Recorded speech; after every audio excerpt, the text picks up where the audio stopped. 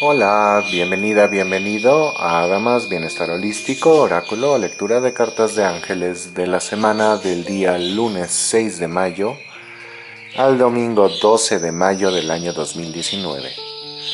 ¿Cómo te encuentras? Espero que te encuentres bien. Pues empezamos con la lectura de las cartas. Como sabes, empiezo con las de Divine Virtue de la Virgen María. Escojo una carta, me guío por mi intuición y pido que el mensaje de la Virgen se haga presente.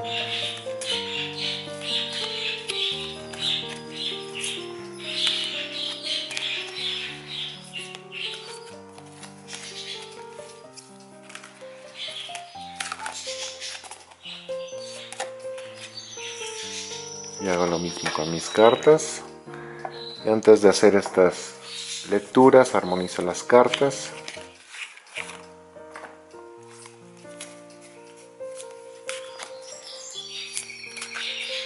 Agradezco también a las personas que han preguntado acerca de mi libro.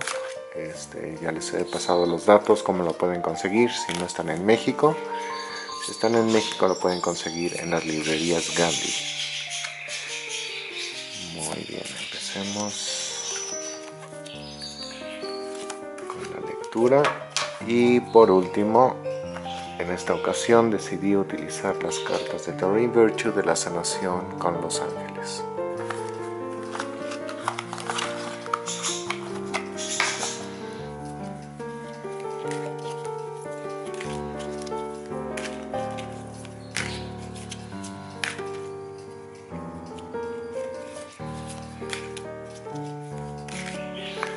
Vieron, tuve la sensación de que esa era la carta y ya cuando le iba a jalar dije no.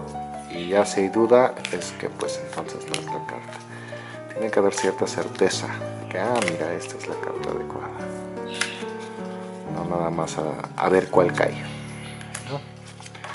Muy bien, entonces empecemos con la lectura y vamos a ver cómo se van enlazando las cartas. La Virgen María nos quiere dejar saber para esta semana Be strong, sé fuerte. Miren que, que seguida está saliendo esta carta. Ha salido hace poquito también y dice, I pull myself up and do what needs to be done.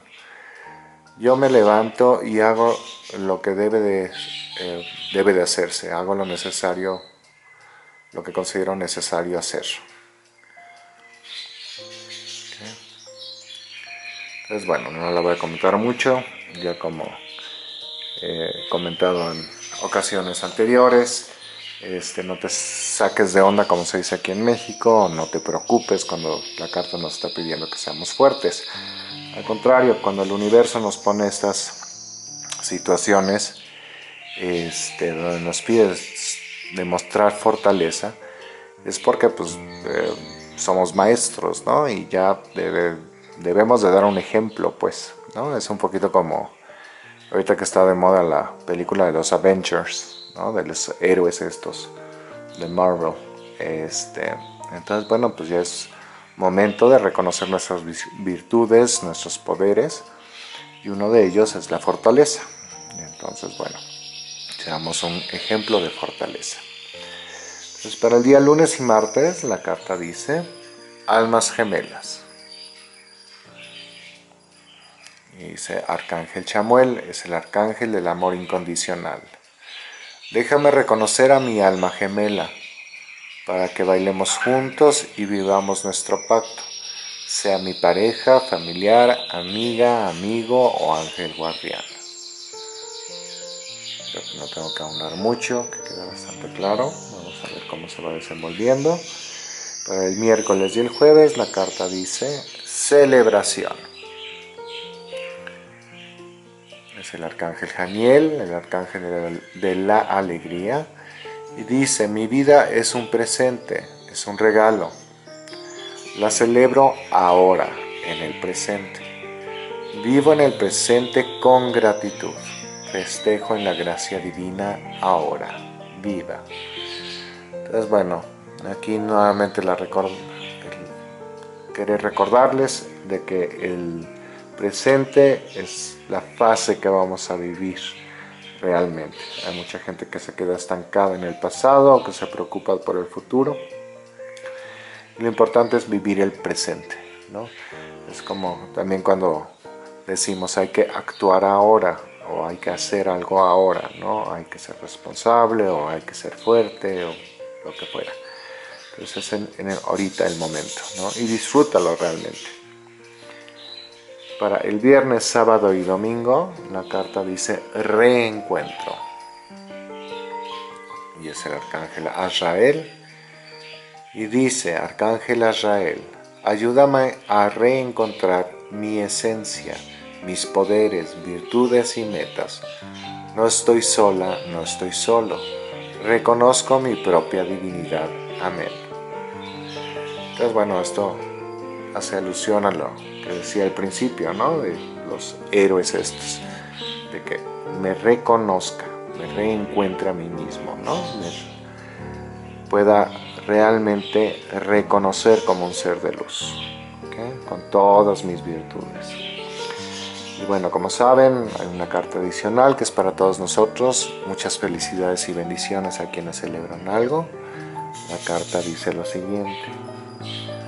Libertad. Así se ve la carta.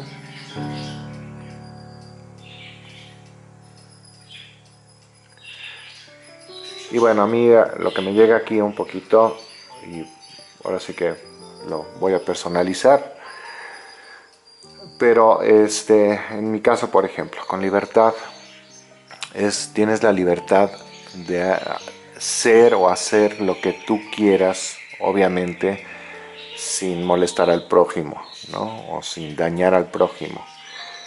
Pero a lo que me refiero en este sentido, ah, en mi caso particular, uh, muchas personas que ya tienen un reconocimiento internacional como pintores, la gran mayoría, yo creo que el 90% me dice, ¿sabes qué? Tienes que tener un sello artístico, algo con lo que la gente te reconozca y diga, esta es la obra de, fulanito de tal, ¿no? Entonces como que te tienes que encasillar en nada más pintar este estilo, esta obra de tal manera y hacer eso el resto de tu vida prácticamente. Y a mí no me gusta porque pues es como muy limitante, ¿no? Justamente lo que me gusta de la pintura es que es tan amplia y tan generosa y tan abundante. Eh, parte de la creación misma, ¿no? Entonces, bueno, pues me gusta experimentar diferentes técnicas y diferentes estilos y desde abstractos, perdón, abstractos a figurativos, a realismo, hiperrealismo, etcétera y también dentro de estos hay diferentes técnicas de cómo hacer las pinturas. Entonces, bueno, con lo de la libertad es, ah, y eso es lo que me llega a mí, cuando consideramos mucho qué es lo que opinan los demás, qué es lo que dicen los demás, y bueno, pues obviamente si estás al comienzo de algo, pues te vas guiando por lo que te dicen estos maestros que ya tienen pues, cierta experiencia, ¿no? Pero a mí lo que me llega es, no, ten la libertad de ser quien tú eres, ¿no?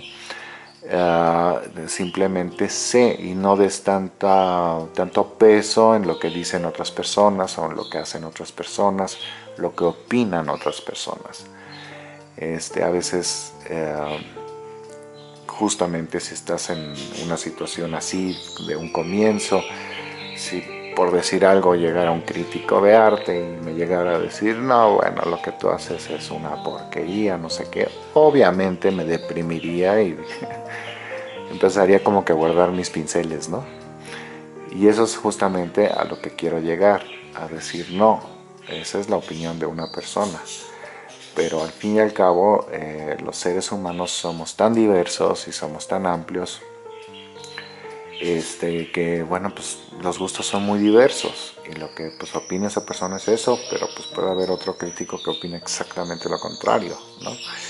Entonces a veces valuamos demasiado eso y por eso la carta de la libertad, de que tú te des la libertad de ser quien eres, de reconocerte, ¿no? de ser libre, de no dar tanto, um, tanta fuerza al reconocimiento que te dan otros, sino el reconocerte tú a ti misma, a ti mismo. Creo que quedó claro. Entonces, bueno, es un trabajo interno, pero este, creo que muy bonito. Ah, ahora sí que no, no sé muy bien por qué nos están pidiendo ser fuertes, en el sentido pues, tal vez de autocrítica. Pero en realidad las cartas de acá son muy bellas. Este, tratar de reconocer a nuestra alma gemela. La función muchas veces del alma gemela es fungir como un espejo, ¿no? Y es donde podemos vernos podemos reconocer tanto nuestras virtudes como nuestros defectos.